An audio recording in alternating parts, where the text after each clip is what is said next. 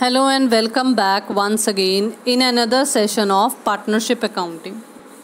देखिए partnership accounting में हमारा जो लास्ट सेशन रहा था, उसमें मैंने आपको डेथ ऑफ़ द पार्टनर का कंसेप्ट स्टार्ट करवाया था मैंने आपको छोटा सा थ्रेटिकल एक कंसेप्ट प्रोवाइड किया है कि किस तरह से डेथ ऑफ़ द पार्टनर के केस में भी, जिस तरह से हम रिटायरमेंट के केस में कुछ एडजस्टमेंट्स करते थे, वो की जाती हैं वो सब हमें अकाउंटिंग ट्रीटमेंट्स की फॉर्म में भी पता है। लाइक रीवैल्यूएशन अकाउंट बनाना रीवैल्यूएशन के प्रॉफिट या लॉस को एडजस्ट करना, कोई एक्यूमुलेटेड प्रॉफिट या लॉस को एडजस्ट करना। सो ऑल दैट स्टफ़ हमें बहुत ही अच्छे तरीके से क्लियर है। हमारे पास जो एक नया concept death of the partner के केस में था, वो नया आया था कि किस तरह से प्रॉफिट की कैलकुलेशन की जाती है। क्यों? क्योंकि डेथ किसी भी पार्टनर की कभी भी हो सकती है। तो in between of the session अगर किसी पार्टनर की डेथ हो जाती है तो उसकी डेथ तक के टाइम पीरियड के हिसाब से हमें प्रॉफिट कैलकुलेट करना पड़ता है। वो टाइम पीरियड वाला जो मैंने अभी अभी कंसेप्ट आपको बोला, वो ऑन टाइम बेसिस के अकॉर्डिंगली कवर किया जाता था। ठीक है? और बिल्कुल उसी तरीके से मैंने आपको हिंट भी दिया था कि एक सेकेंड बेसिस और होता है कैलकुलेशन ऑफ़ प्रॉफिट का in case of the death of a partner वो था ऑन सेल्स बेसिस तो हमने अभी तक टाइम बेसिस के हिसाब से एक थ्रेटिकल कंसेप्ट पढ़ा था। फिर मैंने आपको एक छोटा सा प्रैक्टिकल क्वेश्चन लेकर सिर्फ़ प्रॉफिट कितना कैलकुलेट होगा, ये बात आपको समझाई थी। मुझे उम्मीद है कि यहाँ तक का जो जितना भी हमारा ये सेशन था, वो आपको बहुत अच्छे तरीके से समझ में आया होगा। अब आज हम स्टार्ट करेंगे कि अगर हम on the basis of time calculate करते हैं कि प्रॉफिट कितना होगा एक डिसीज्ड पार्टनर का तो उसकी अगर हमें अकाउंटिंग ट्रीटमेंट अगर देने की ज़रूरत पड़े बिकॉज़ अकाउंट्स है, हर एक ट्रांजेक्शन को रिकॉर्ड किया जाता है। तो इसलिए देखते हैं कि इसकी रिकॉर्डिंग किस तरह से होगी, इसको अकाउंटिंग ट्रीटमेंट कौन सी दी जाएगी। After calculating the proportionate profit share of the deceased partner following journal entries are passed जब एक डिसीज्ड पार्टनर का प्रॉफिट का शेयर निकाल लिया जाता है। चाहे हम ऑन दी टाइम बेसिस ही अगर बात करें, वैसे तो ये मैं एक और क्लियर कर दूँ। वैसे तो ये जो जर्नल एंट्रीज मैं आपको बता रही हूँ, ये मैं on the basis of time भी नहीं लिखूँगी, क्योंकि ये दोनों के केस में अप्लाई होंगी। ये सेल्स के केस में भी अप्लाई होंगी, ये टाइम बेसिस के केस में भी अप्लाई होंगी। सिर्फ़ सेल्स बेसिस और टाइम बेसिस का मेन मकसद ये है कि कैलकुलेशन पे फ़र्क पड़ेगा। अकाउंटिंग ट्रीटमेंट यही रहेगी। तो हम सिंपल सी बात करते हैं कि अगर हमने जर्नल एंट्रीज पास करनी हो प्रॉफिट को एडजस्ट करने वाली तो वो क्या होंगी? सबसे पहला है हमारे पास केस वन देखिए, जब नए पार्टनर्स या यूँ कहेंगे कि जो पार्टनर्स बच गए, नई पार्टनरशिप फर्म बन जाती है ना, जब पुराने वाली फर्म डिजोल्यूट हो जाती है जब भी कोई नया पार्टनर आता है तो फर्म डिजोल्यूट होती है। जब कोई पार्टनर रिटायर होता है तो फर्म डिजोल्यूट होती है।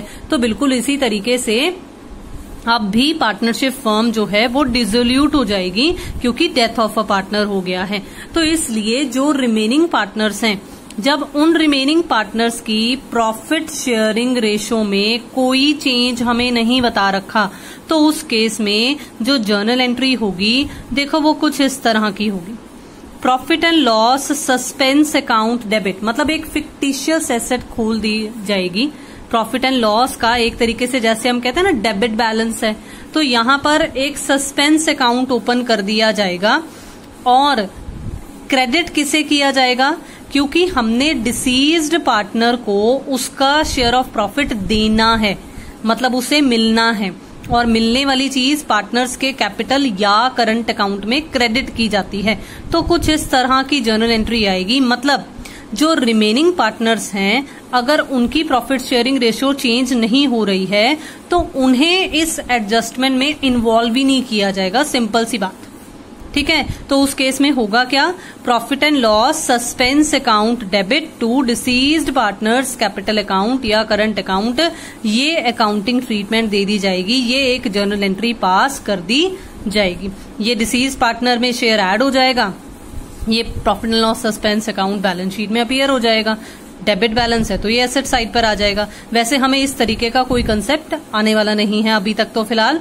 अगर लेंथी क्वेश्चन में मिलेगा हम, हमें इस तरह का अगर कोई क्वेश्चन मिलता है तो हम ज़रूर उसे अटेम्प्ट कर कर देखेंगे। देन है केस सेकेंड अब देखो, इसमें तो था कि कोई चेंज नहीं है। लेकिन अगर पार्टनर्स की प्रॉफिट शेयरिंग रेशो कौन से पार्टनर्स की? रिमेनिंग पार्टनर्स की। अगर प्रॉफिट शेयरिंग रेशो चेंज हो जाती है, अब देखो जब चेंज हो गई तो हम क्या कैलकुलेट करेंगे? हम गेन्स कैलकुलेट करेंगे कि कहीं कोई गेन या सेक्रीफाइस रिमेनिंग पार्टनर्स का निकल रहा है कि नहीं निकल रहा। अगर निकल रहा है तो फिर से सेम वही रूल कहूँगी मैं गेनिंग टू सेक्रीफाइसिंग वाला कंसेप्ट फॉलो करना है। मतलब कुछ इस तरह से जर्नल एंट्री होगी। एग्जिस्टिंग पार्टनर्स कैपिटल अकाउंट या अगर फिक्स्ड कैपिटल्स हैं तो current account debit to deceased partners capital या करंट अकाउंट ये क्या है? ये उस प्रॉफिट शेयर की एडजस्टमेंट है जो हमने डिसीज्ड पार्टनर का निकाला है शेयर उसके बेसिस पर ये जर्नल एंट्री पास की जाएगी। और जो एग्जिस्टिंग पार्टनर्स होंगे उनमें ये adjustment according to their gaining ratio की जाएगी। तो मुझे उम्मीद है कि यहाँ तक का थ्रेटिकल कंसेप्ट आपको समझ में आ गया। अब देखो, हम इसी थ्रेटिकल कंसेप्ट को आज सिर्फ़ ऑन दी टाइम बेसिस वाले क्वेश्चंस अटेम्प्ट कर कर फिर प्रैक्टिकली समझेंगे और बेटर तरीके से, ताकि आपको ये जर्नल एंट्रीज याद भी हो जाएँ। तो देखो, अगर आपको याद हो तो मैंने हमारे लास्ट सेशन में क्वेश्चन नंबर 58 का आपको प्रॉफिट कैलकुलेट कर कर बताया था और वो प्रॉफिट कितना आया था? वो प्रॉफिट सेवेंटी फाइव हंड्रेड आया था। लेट मी शो यू एक बार जल्दी से देख लेते हैं कि किस तरह से वो सेवेंटी फाइव हंड्रेड रुपीज़ आया था। पहले क्वेश्चन रीड आउट करते हैं, फिर जल्दी से उसका आंसर देखते हैं। देखिए, ये क्वेश्चन नंबर 58 था, जिसे हम लास्ट वीडियो में रीड आउट कर कर हमने समझ भी लिया था। आपको टिक्स भी लगी हुई दिख रही हैं। इसमें तीन पार्टनर्स थे, जिसमें से बी डाई हो गया था। और बी का जो शेयर ऑफ़ प्रॉफिट था वो हमें बता रखा था कि till his date of death हमने कैलकुलेट करना था एवरेज बेसिस पर कितने सालों की एवरेज प्रॉफिट्स हमने लेनी थी? थ्री इयर्स की जो कि हमें दे, दे रखी थी forty thousand fifty thousand and seventy two thousand तो बहुत ही आसानी से एवरेज निकल जाएगी तीनों को ऐड कर कर थ्री से डिवाइड कर कर। अब आपको ये समझाया गया था कि ये जो प्रॉफिट निकलेगा, वो सभी पार्टनर्स के शेयर के अकॉर्डिंगली निकलेगा। प्लस निकलेगा भी कितना? देखो, ये ईयरली बेसिस के प्रॉफिट्स हैं। तो जब हमने एवरेज निकाली तो वो भी तो पर ईयर के हिसाब से निकली ना? तो हमें क्या करना पड़ेगा? हमें डेज़ की या मंथ्स की एडजस्टमेंट भी करनी पड़ेगी, क्योंकि हमने till his date of death निकालना है शेयर फिर उसके बाद हमें उसका एक्सक्लूसिव शेयर भी निकालना पड़ेगा। तो हमने ये कैलकुलेशन की थी, जल्दी से देख लेते हैं। और देखो, अब ध्यान से नेक्स्ट क्वेश्चन भी रीड आउट करो साथ में मतलब इसी क्वेश्चन का नेक्स्ट पार्ट रीड आउट करो। Pass the necessary journal entry for the remaining for the same sorry assuming there is no change in the profit sharing ratio of A and C मैंने आपको क्या समझाया है? अभी अभी कि जब पुराने पार्टनर्स मतलब जो रिमेनिंग है जब ए और सी जो रिमेन रह गए थे, जो एग्जिस्ट कर रहे थे, उनकी प्रॉफिट शेयरिंग रेशो में कोई चेंज ना हो तो हम किस तरह से जर्नल एंट्री करते हैं? हम जर्नल एंट्री करते हैं profit and loss suspense account debit to deceased partners capital account तो देखो, आपको हिंट में आंसर आंसर में हिंट दे भी रखा है कि यही बता रखा है, यही जर्नल एंट्री की हुई है।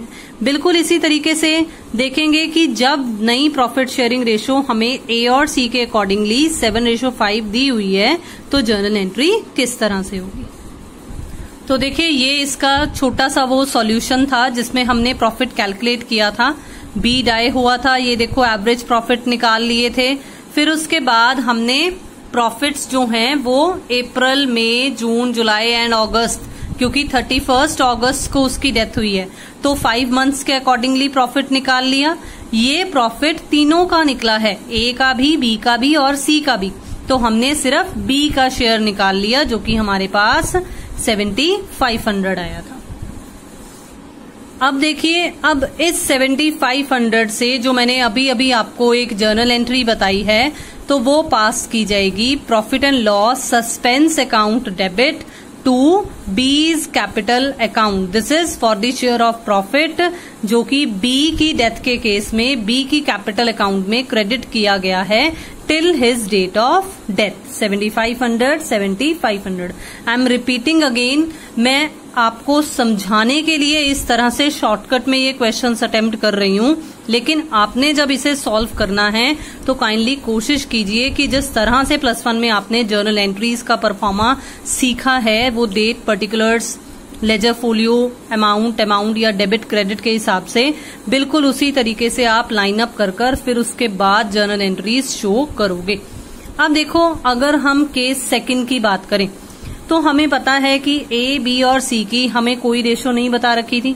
तभी तो हमने two two five double zero जो प्रॉफिट निकला था, उसका वन थर्ड कर कर बी का शेयर निकाला था ना। बिल्कुल इसी तरीके से देखो ए बी और सी की जो ओल्ड रेशो है, वो one third one third one third यानी कि one ratio one ratio one थी। हमें न्यू रेशो किसकी बता रखी है? देखो बी तो है ही नहीं है। तो मैंने क्रॉस लगा दिया बी की जगह पे। सेवन रेशो फाइव हमें ए और सी की रेशो बता रखी थी।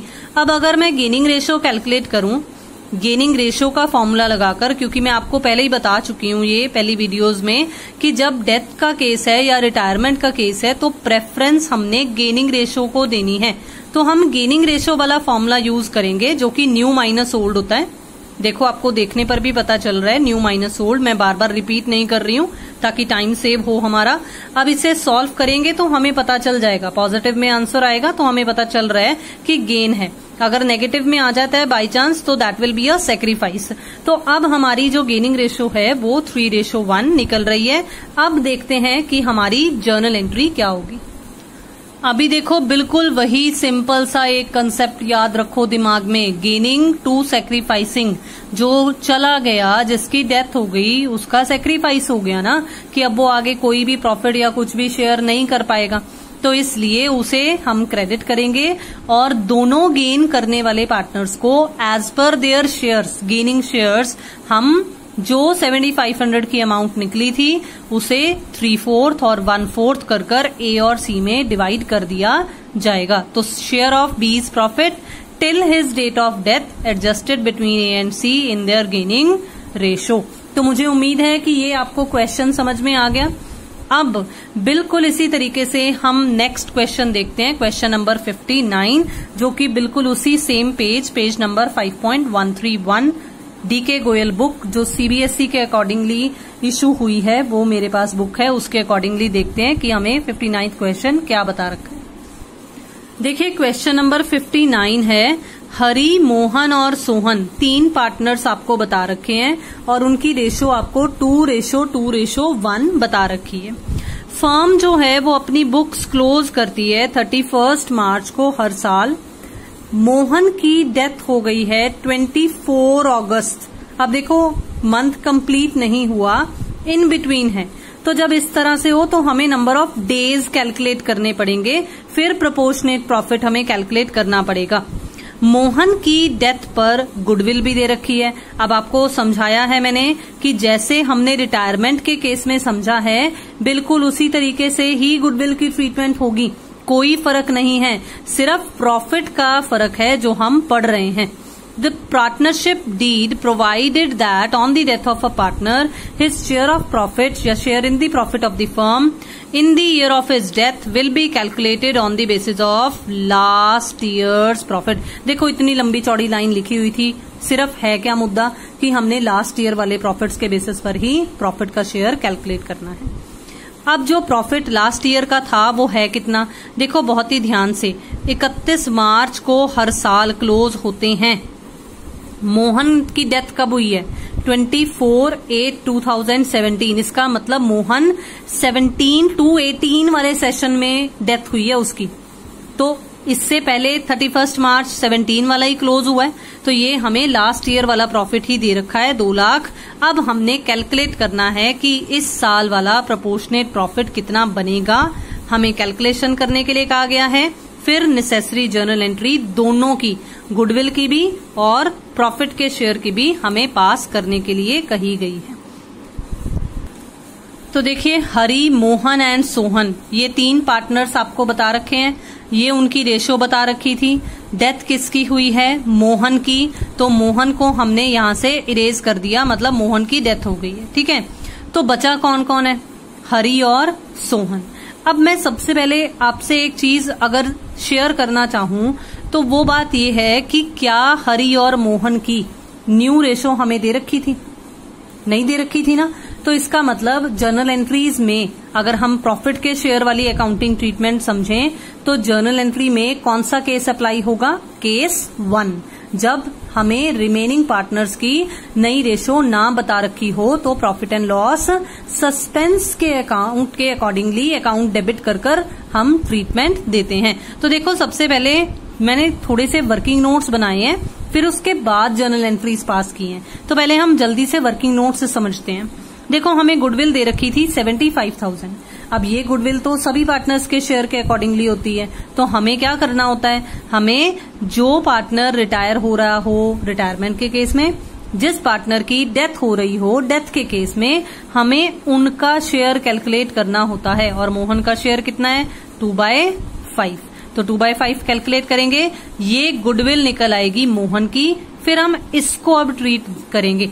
अब इसको ट्रीट करना कैसे होता है? इसके लिए आपको समझाया हुआ है ना कि हमने existing partners debit to deceased partner पहले मैं रिटायरिंग कहती थी ना, लेकिन अब ये डेथ वाला केस है तो इसमें हम डिसीज्ड पार्टनर वर्ड यूज़ करेंगे।